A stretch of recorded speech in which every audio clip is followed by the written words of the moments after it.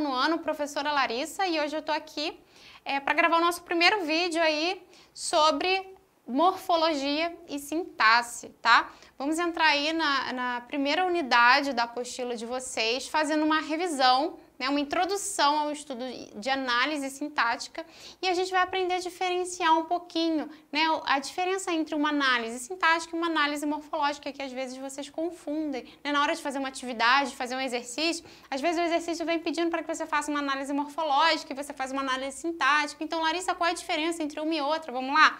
Quando eu estou falando sobre uma análise morfológica, gente, morfo, estou falando sobre forma, né? O estudo da forma. Enquanto que a morfologia estuda a forma das palavras, né? Como as palavras elas são analisadas individualmente, classificadas aí conforme uma de, de uma de suas dez classes gramaticais, que pode ser substantivo, numeral, verbo, preposição e por aí vai. A análise sintática, ela vai analisar a relação que essas palavras vão estabelecer entre si.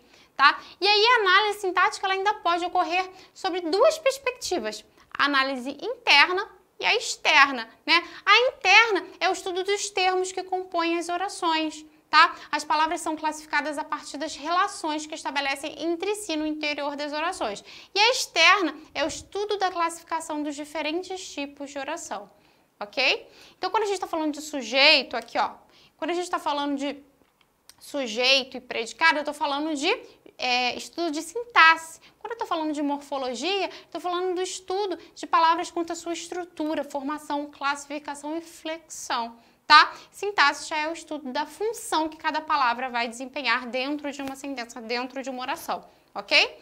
Então, olha lá, quando eu estou falando de morfologia, eu estou falando de substantivo, artigo, adjetivo, pronome, numeral, verbo, advérbio, preposição, conjunção, interjeição. E quando eu estou falando de sintaxe, eu estou falando de sujeito, verbo transitivo direto, indireto, bitransitivo, né? objeto direto, objeto indireto, predicativo, predic é, adjunto adverbial, nominal, complemento nominal, agente da passiva e aposto, tá certo?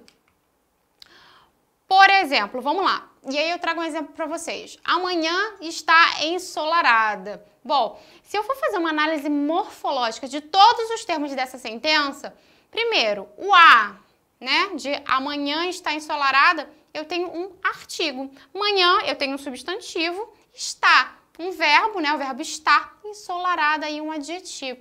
Então, gente, quando a gente está fazendo uma análise morfológica, eu olho para a palavra e eu já sou capaz de dizer a que classe gramatical ela pertence. Diferentemente da análise sintática, que eu tenho que olhar ali para o contexto, para ver como ela está se relacionando dentro, dentro dessa sentença, né? E aí ela pode, dependendo do local em que ela esteja, com quem ela está se relacionando, exercer uma função diferente. Olha só, amanhã está ensolarada.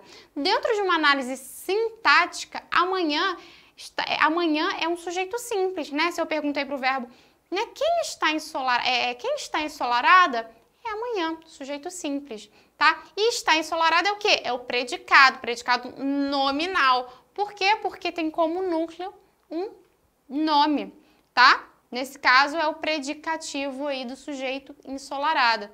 Ensolarada, como eu já falei para vocês, a gente vai classificar como predicativo do, suje do sujeito, ou seja, a qualidade desse sujeito, uma característica mesmo sobre ele. Então, vamos relembrar aí alguns conceitos, só para a gente ir adiante e a gente exercitar um pouquinho para ver se ficou claro para vocês.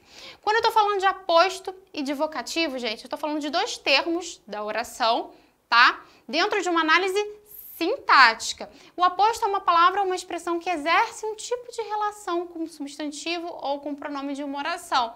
Né? E que traz uma informação a mais, enquanto que o vocativo já é um termo independente, é aquele chamamento que a gente geral, geralmente não, a gente sempre separa da sentença, da oração aí por meio de uma vírgula, tá certo? Olha, olha aí, vamos exercitar então para ver se agora vocês entenderam de verdade. Analise sintaticamente os termos em destaque das orações em pauta de acordo com a função desempenhada pelos mesmos. Ó oh Deus, obrigada por proteger-me sempre. A garota pareceu tranquila durante a apresentação. De toda aquela convivência, apenas restou algo, uma mágoa intensa. Eu necessito de seu carinho para continuar seguindo em frente e as lembranças da infância atormentavam-lhe constantemente. Se a gente for analisar sintaticamente, ou seja, cada um desses termos, com, de, de que forma que eles se relacionam com o restante da, da oração, com o restante da sentença, como que eu vou identificá-los, gente? Como que eu vou classificá-los sintaticamente? Primeiro, ó Deus, obrigada por, por proteger-me sempre. Vocativo, né? Um chamamento, tá certo? Agora, se eu fosse classificar Deus é, morfologicamente, Deus seria o quê? Um substantivo próprio, né, no caso. Agora vamos lá. A garota apareceu tranquila durante a apresentação. Tranquila, nesse caso, a garota sujeito. Pareceu verbo de ligação. Tranquila foi a forma com que essa garota se pareceu. Ela, ela apareceu. Caso predicativo do sujeito, tá certo? De toda aquela convivência, apenas restou algo. Uma mágoa intensa, né? A gente tem uma informação a mais, olha. De toda aquela convivência, apenas restou algo. Dois pontos. Marca o que? O início de um aposto, tá certo?